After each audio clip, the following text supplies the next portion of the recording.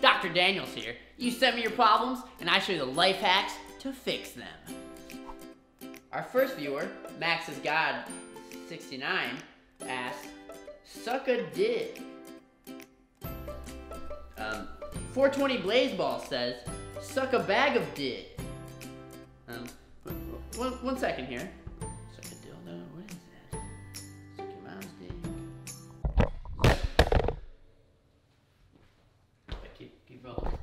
Oh, here we go.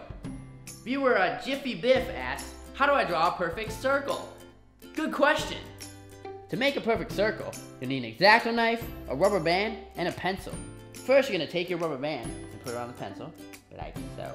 Then you take this side of the rubber band, put it on the X-Acto knife, and you put the X-Acto knife in the middle of the paper.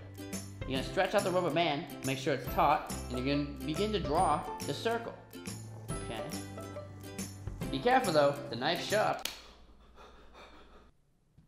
Oh, that's bad. Oh. Oh, call the doctor, cameraman. Oh, I think I'm dying. If you see my life flashing before my eyes. Mama, what?